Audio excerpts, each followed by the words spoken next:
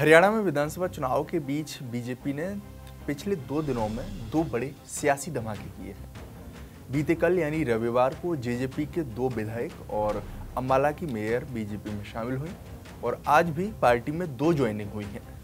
फतेहाबाद की टोहाना सीट से विधायक देवेंद्र सिंह बबली और जेल अधीक्षक सुनील सागवान ने बीजेपी का दामन थामा है। सागवान भौंडसी जेल के अधीक्षक थे और बीजेपी में शामिल होने के लिए उन्होंने अपने पद से इस्तीफा दिया।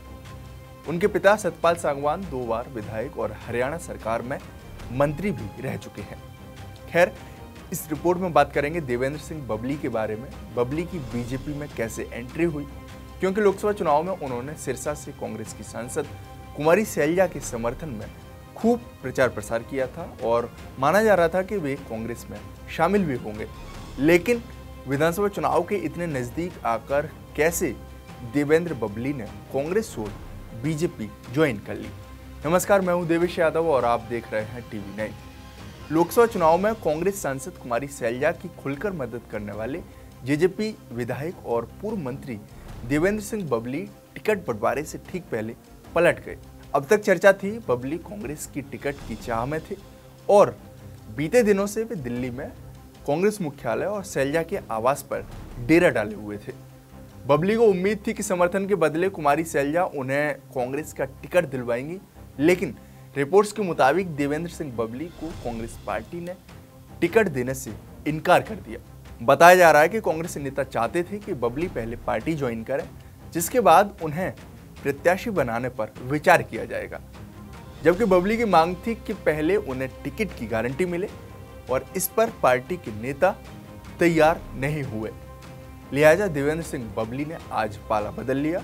बीजेपी ज्वाइन करते ही उन्होंने भूपेंद्र सिंह हुड्डा का नाम लिए बगैर उन पर हमला भी बोला है और कहा है कि पहले सरकार रोहतक से चलती थी, लेकिन पिछले दस सालों में भाई भतीजावाद खत्म हुआ है। आज हरियाणा प्रदेश भाई भतीजावाद से ऊपर उठा है, परिवारवाद की राजनीति ऊपर उठा है।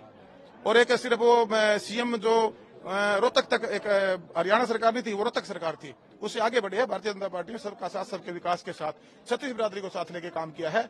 उसका मैं आपके सामने जीता गवाह हूँ। हमारे टोहाना के अंदर, पहले भी इनकी सत्ताएँ रही हैं। एक भी रुपया लगता था। आज टोहाना के अंदर मेरी कंस्टिट्यूंसी विकास देख लीजिए। तीन हज़ार के करोड़ के विकास, जबकि हम तो सहयोगी के रूप में भारतीय जनता पार्टी के साथ थे।